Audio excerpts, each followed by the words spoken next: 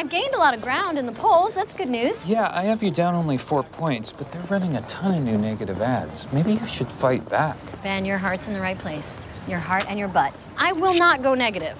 Crap on a turd! Care for a Recall Knope gift bag. The committee to recall Leslie Knope is relentless. Look what they're handing out at elementary schools. I'm Leslie Knope. Tell your parents to recall me.